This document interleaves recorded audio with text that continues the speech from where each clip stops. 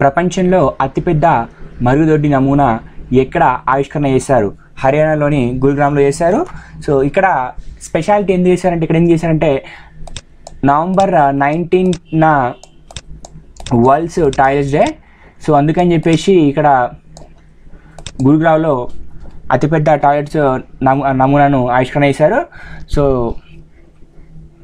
ఇక్కడ మొత్తం పద్దెనిమిది వందల జనాభా ఉంటుంది. సులభ్ ఇంటర్నేషనల్ సంస్థ జూన్లో ఈ గ్రామానికి ట్రంప్ గ్రామంగా నామకరణం చేసింది.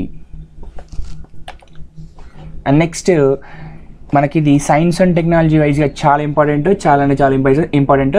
ఎందుకంటే cadherin twenty two so cadherin twenty two దేనికి సంబంధించి చెప్పేసి question so cadherin twenty two అని చెప్పేసి క్యాన్సర్ వ్యాప్తికి కారణమయ్యే ప్రోటీన్ అట ఇది. సో క్యాన్సర్ వ్యాప్తికి కారణమయ్యే ప్రోటీన్ ఇది అని చెప్పేసి అనడం జరుగుతుంది.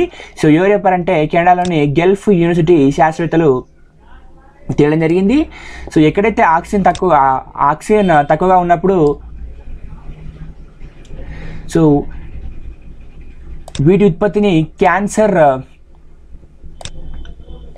కణాలు పెంచినట్టు చెప్పేసి వీరు కనిపెట్టడం జరిగింది.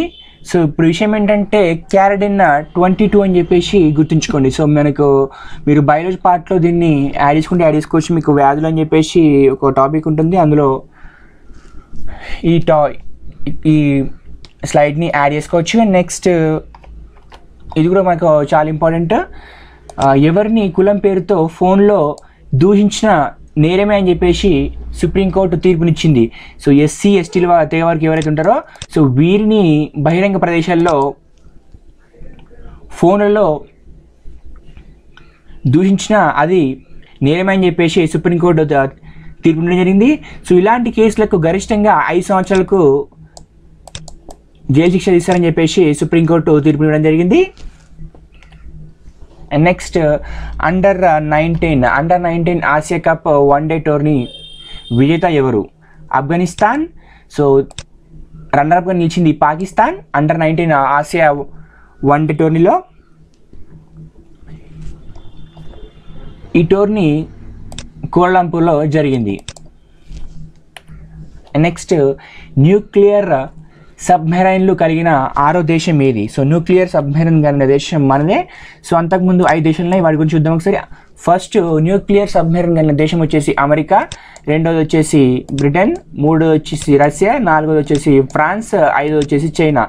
తర్వాత న్యూక్లియర్ సబ్మెరైన్ కలిగిన ఆరో దేశంగా మనం ఆవిర్భవించాం సో విషయం ఏంటంటే